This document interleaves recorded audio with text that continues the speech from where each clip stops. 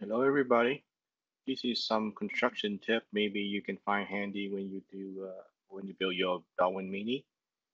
Uh, we'll talk about the horn orientation, the XL320, about the rivet system if you happen not to have used them before, like from the OLLO or Bioloid stem. And then the battery system need to talk about also. There's some uh, technical issue. So the XL320 horn orientation. And uh, if you work with uh, Dynamixel or AX12 or 18A before, you remember that the horn always have a slit, what I call the, the eye mark, and you need to align that with the top of the servo motor. So this would correspond to the position, uh, the middle position, usually 512, if the range go from 0 to 1024, but that's the middle range of the servo in its uh, position control mode. On the XL320, it actually on the bottom side of it, opposite to this, uh, shall we say, eye mark, there's a double eye mark also. And depending on which servo you're mounting and which part of your robot, sometimes you have to align the eye mark to the top of the servo. Sometimes you have to align the double eye mark, which is kind of bottom of the horn, to the top of the servo motor. So need to watch out for that. And uh, if you read the quick start manual, they do show it properly in there, but they don't have any text, so you have to watch out. So most servo are mounted based on the eye mark. That means the eye mark going to be on top of the servo motor, which you don't see here. But now you see on, on ID1, you see the two double eye mark at the bottom of this uh, servo motor. Except I think seven and eight, and you need to watch out. So you need to look at the picture carefully as you mount them. Seven and eight, you can see that the two double eye mark is on the top of the servo motor. So please keep that in mind. If not, uh, when you put in the example uh, motion file, uh, everything is upside down for certain things and it may not work properly. Well, how do you rotate the horn? The horn by default when you get it from the uh, the box, the kit, you're going to see that most of them, or they should be lined up with the single eye mark lined up with the top of the servo motor. So in order to get two double mark lined up with the top of the motor, you had to use a rivet tool. And the rivet tool has the what I call the horn end, and it has two little protrusion there just to fit exactly into the holes on the horn. And then you just, when you hook it up, you can rotate it to align any which way that you need. Next, let's talk about the rivet system. The rivet system have a sleeve and then also a stem. Uh, they come on the Darwin Mini, they come two sizes, a little shorter one and a little bit longer one. And they all use clear plastic material. And I try to do a close up here so you can see so most of the stem have the rod, and then you have see the little teeth here. It's kind of hard to tell. The little teeth will go, maybe you can see there's a slot on the clear side here. You can go here and in lock position. So because it's clear, kind of hard to tell. So I have some more picture here using the uh, original all rivet system, which using uh, opaque material so you can see it.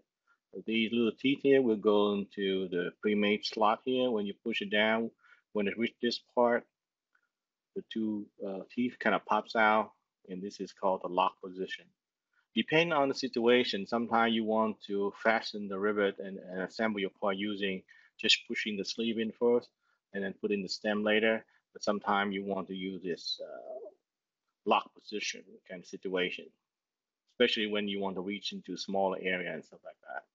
So let's go on here. Once you have it locked in the lock position, like you see here, the only way you can install this uh, rivet uh, properly, rivet, I mean stem rivet properly is using the finger end of the rivet tool. So you put the finger kind of to keep the stem separated uh, up there from the sleeve. Also, there's another end, which is a sleeve tip end here. You can use it to push the sleeve in and out for tight area, or I use it, you know, there's like an extension of my finger uh, when I need to reach in tight corners, or when you kind of take the robot apart, and then sometimes you have to use this one to push the sleeve out. So rivet attachment, there are about two techniques. This is the method one. Uh, the easiest usually it helps if you have, shall we say, the there's plenty of room from the outside. And this is the easiest one to do. You just push the sleeve in first. Once it's all in through the your parts, like two uh, of the uh, uh, piece of uh, plastic here, and then you can put the stem in. The other way to do it is you put the stem into the sleeve first outside. And then when you put it in, somehow you have to put the sleeve in first before you can put the stem in. If you have the stem uh, at the and the sleeve all together and you already push down the stem, this will uh, prevent it from going down. There's no way it's going to, uh, you can push down.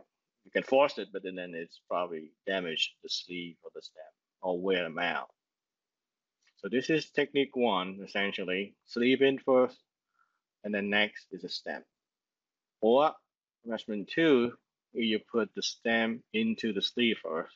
And this one you use, uh, I use it to, sometimes I need to reach into the tight corner or I cannot put my finger into there. So like, for example, especially like somewhere in the body, the bot, or somewhere like the head or the pod, the bot, you probably had to use this uh, technique. And they also use this technique to remove the rivet. So essentially, you put the rivet and stem together, the uh, stem and the sleeve together, use the finger end, kind of hook it up in between the stem and the sleeve. And then you position that over the part and then use the rivet tool to push down the sleeve and then we'll go down. And then it's just a matter of pushing the stem down then at that point. So when you have it here, if you somehow need to remove or change something, you need to use a finger tool again, kind of sticking it in, pry it up a little bit so that you can pull the stem off the sleeve, and then you can gently just kind of wiggle, pull everything out. Next is the battery holder. Uh, in the Darwin Mini Kit, there are two types of battery holder that come with it.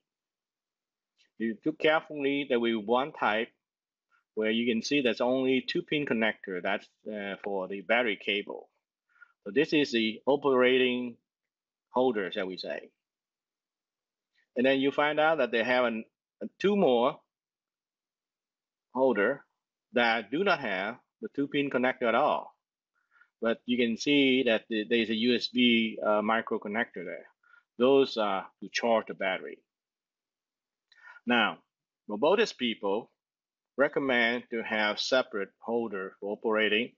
I mean, these, the two pin connector type here will be the will be the one uh, mounted on the robot.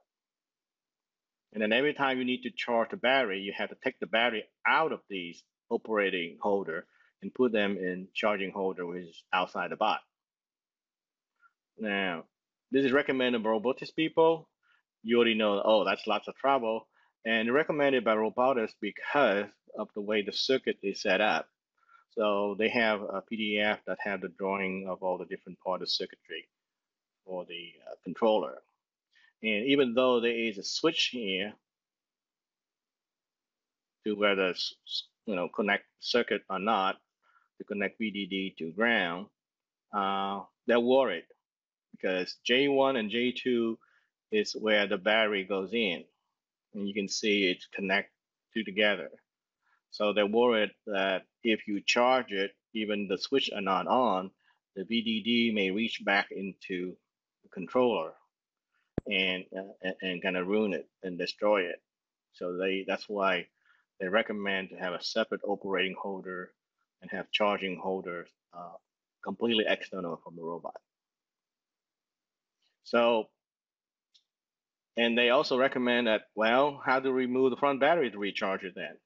What they recommend is pull both legs out so that it kind of uh, 90 degree to the body. So this is the, the front of the body here, the thorax. This is the battery that is the front of the battery.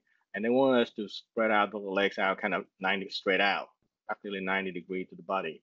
And then use two fingers, kind of put them position in this corner and this corner, and kind of kind of pull out the battery. Okay. And then this battery enough room to slide the battery out and charge it. So I have big problem with this procedures. So I did some more research to see. What I found out is you can also buy a third type LiPo battery full holder. This one they sell on their eShop, and it's called the lithium-ion battery charger set LBB040.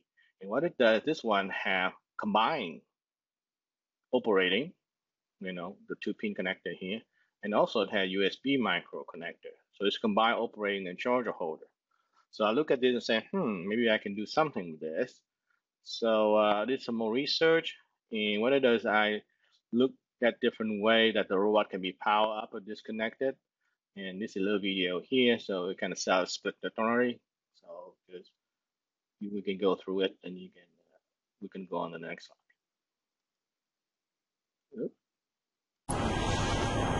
Hello everyone. In this video, I would like to show how the mini Darwin would uh, power would come on depending on how many batteries you have on it.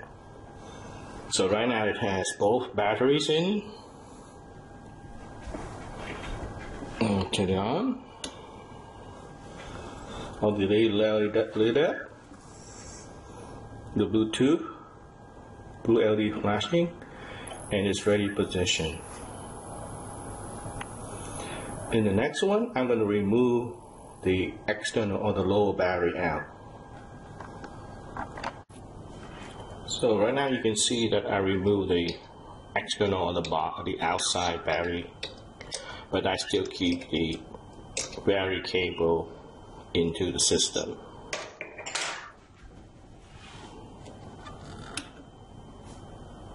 You see that the servo LED lit on a little bit but the Bluetooth never came on and nothing much moved because there's just not enough uh, battery power. Next, I'm going to remove the actual bit of battery cable. And now you see that even now I'm turning on the switch now, the LED uh, for the servo won't even come down, come on. Because uh, the circuitry has been disconnected completely. So what I'm proposing is an alternate approach, and I have tested this approach. However, you must be clear that this is not sanctioned by Robotis at this point in time. Hopefully they will see this video and maybe they have the engineer check on it and, and see how they like it. Hopefully uh, they think this is a worthwhile procedure So essentially, I'm using the third type battery holder. That being the one that can be operating and charging at the same time. So I use that for the front one, the one that kind of hard to get in, and, once you install it, kind of hard to get in and out. So this one is third type of holder, operating and charging. Uh, I repeat again, that's the one just right in front the front battery. In the back battery, you can just use the operating only. So this part here, we can follow the Robotis uh, a sanctioned procedure that's operating here only.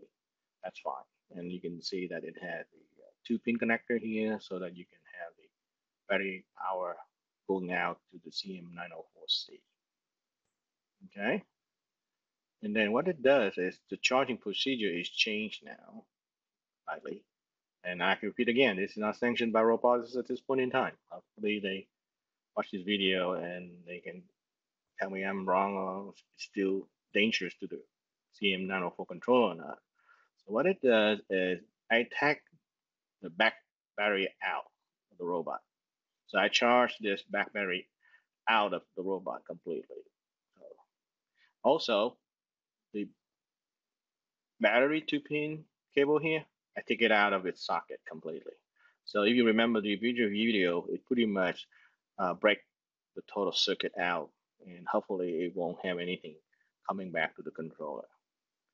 And then I put the uh, micro USB charger uh, connector, it right there. So basically the front battery, I can charge it in place inside the robot and leave it alone. I don't have to take it in and out uh, at all. I only take in and out the back battery charge from the outside.